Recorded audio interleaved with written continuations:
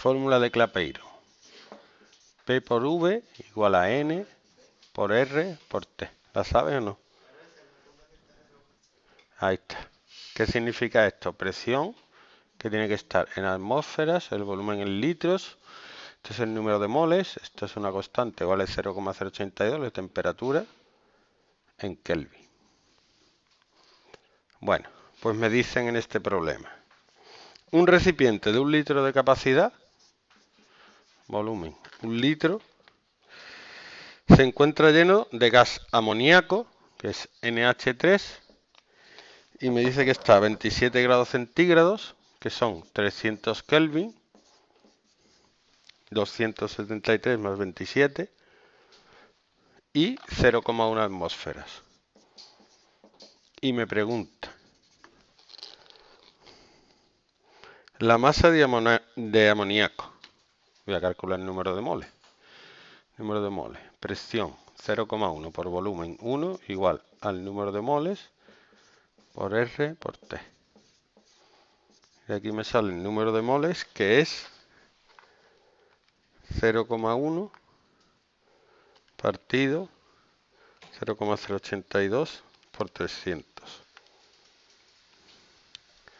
que es 0,0040654 moles de NH3.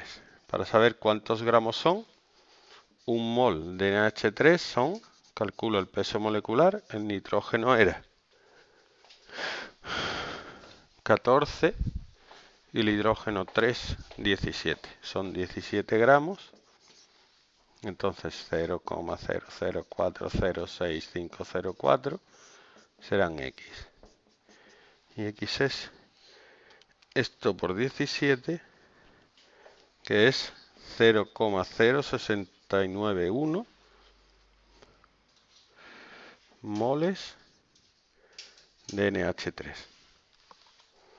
¿Vale?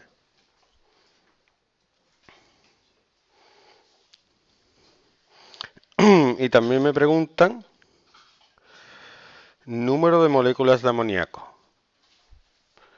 Pues si tengo en un mol. 6,022 por 10 elevado a 23 moléculas en 0,0691 moles tendré X. Que es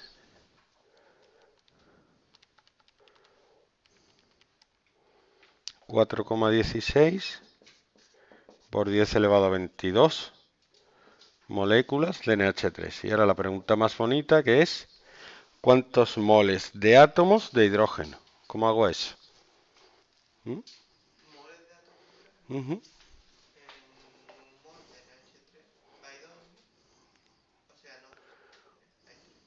Hay tres. Me multiplicaste por 3 y ya está.